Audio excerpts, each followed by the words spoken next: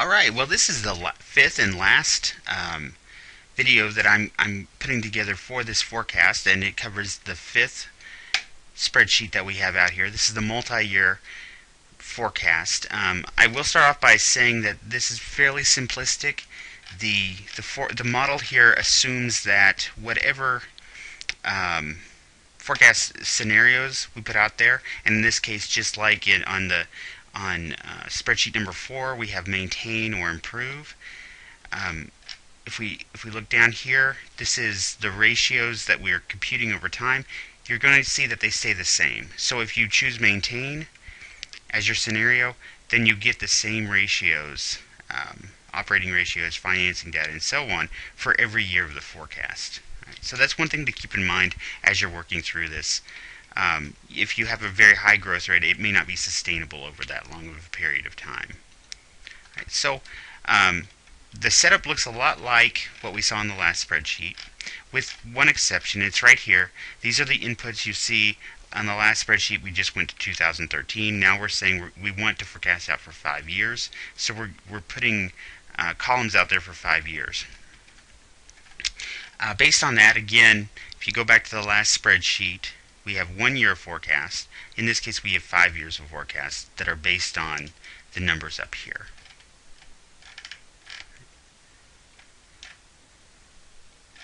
And if you look up here, these each one of these cells just points back to the one before it, and so they're equal to the uh, cells chosen for 2013. What I want you to be able to do um, on this page is to calculate this section of it that, that calculates the additional funds needed before adjustment. Then it puts it through that adjustment factor to find out what the actual line of credit will be that'll balance our balance sheet.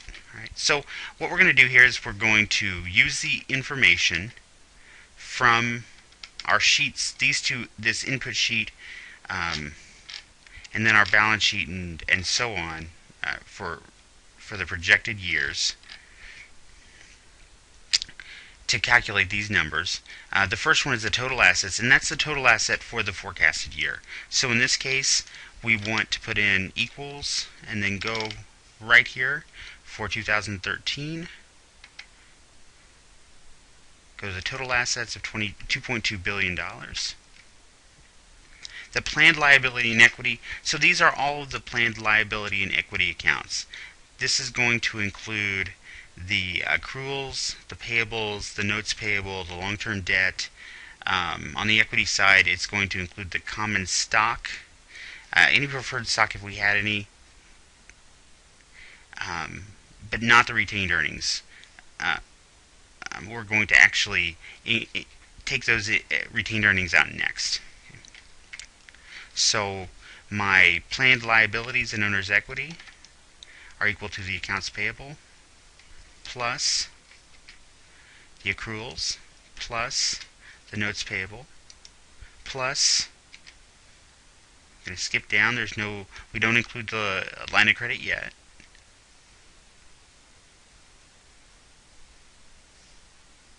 Plus the long-term bonds. Plus the preferred stock plus the common stock. Again, I'm leaving out retained earnings. We're going to use last year's retained earnings. All right, I had a little brief interruption there. Someone at my door. Um, so I hope that doesn't mess you, didn't mess you up. Um, so now we, we've taken out all the planned liabilities and equity. We, we need to now put in the uh, previous year's retained earnings because these are going to be funds that um, are currently financing those those assets. So I'm going to go back up here to the previous year's retained earnings, and it's important that you have these as formulas in your spreadsheet because we're, we're going to drag these over, and they need to be pointing towards the right cell. So don't type in the numbers, type in the actual cell that you want to point to. So so what's going on here? Let me explain. We've got our total assets that we need for the year to generate our sales that, that we'd like to have for the year. We're subtracting out the ways that we're paying for those assets. So these is we're going to subtract out liabilities and equity. We're going to subtract out previous uh, retained earnings, and then we're going to add in previous and, and regular dividends. And the reason why we're adding those back in is that's a use of cash. That's cash that's not going to be available to meet our, our um, asset needs. So I'm going to go up here um, to preferred dividends for 2013. I'm going to add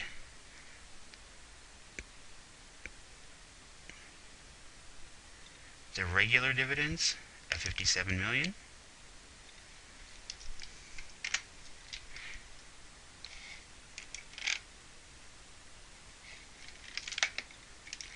And then finally, this last portion here is the, sorry, pop up there.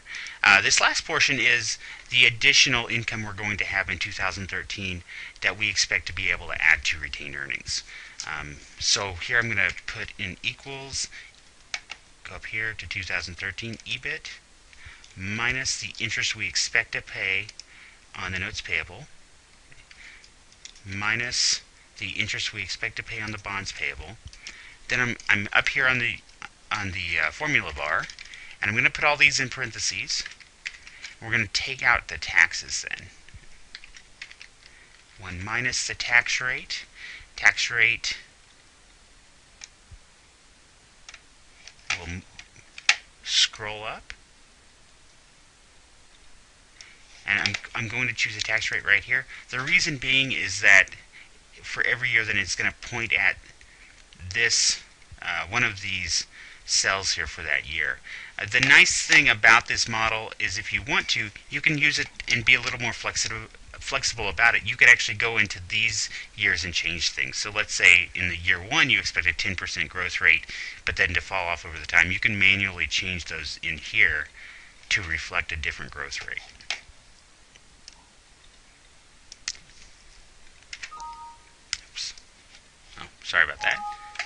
Forgot a parentheses there at the end.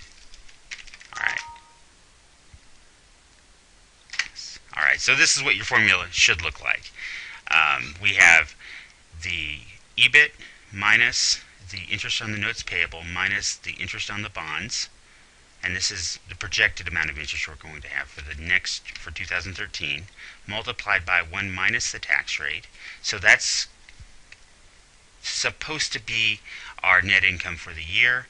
We subtract, or we, so we subtract that out because that's a source of funding for our, um, for our assets for the year. But then we're going to add back in or subtract out the preferred and regular common dividends because those are being taken away and we can't use those as the um, for for funding the next year's assets that we need. So here I'm going to make that calculation.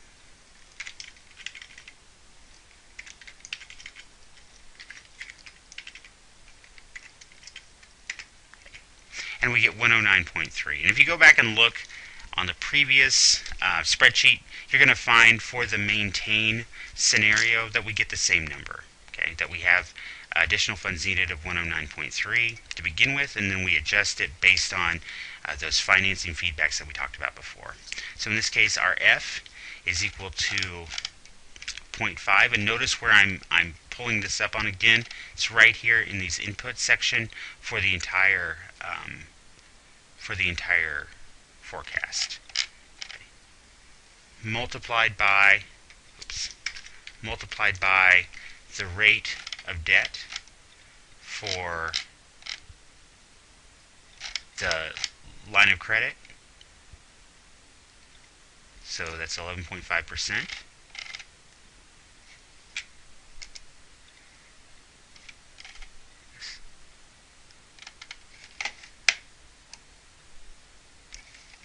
multiplied by 1 minus the tax rate.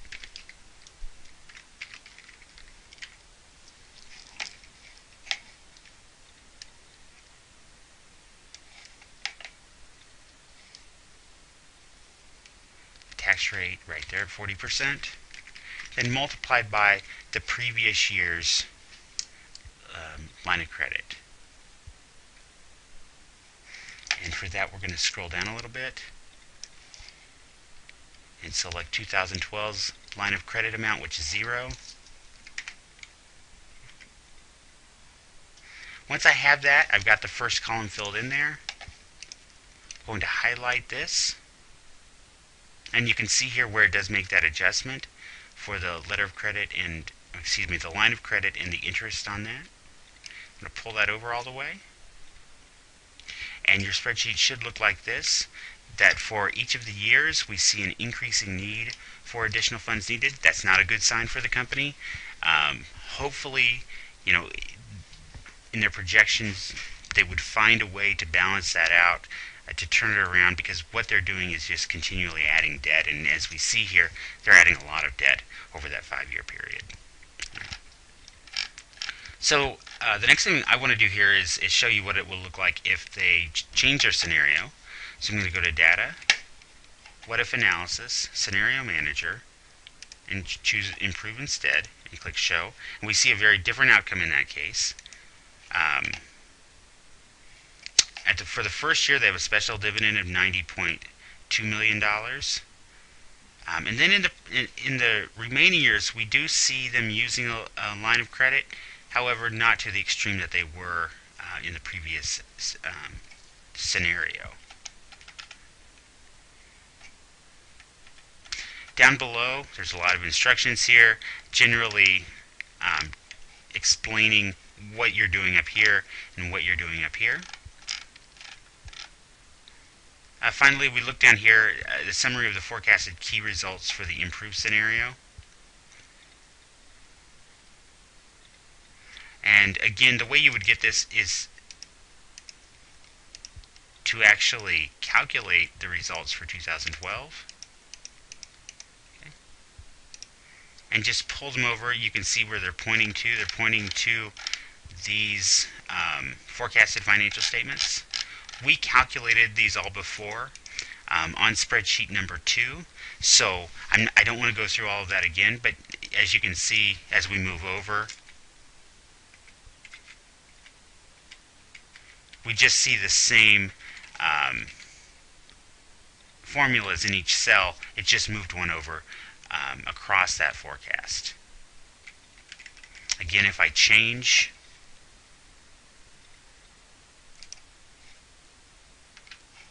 the scenario to maintain.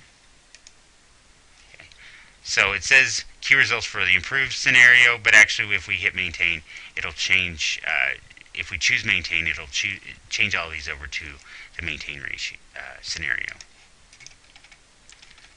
The statement of cash flows is the same idea. Again, we calculated these for 2012. Um, again, on, on page uh, 2, um, we did that so you can see all the calculations. And then these for the forecast year, well, for the actual year, we point them to these financial statements with the forecast attached to them.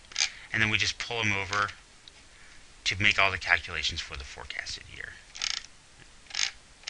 And that should about do it. Um, after you watch these videos, if you have any questions, please let me know. I tried to fill in some of the blanks that aren't in your book, um, working through some of the uh, the calculations without being too monotonous. But if, if there's something you'd like me to go over, just write it down. Um, I'll have the spreadsheets available uh, during class time, and, and certainly you can ask me to, to go over uh, calculations, or if you have a question about how to do something, I'm happy to help there. Um, I will have your assignment ready for you on class in class on Friday, and um, good luck with that.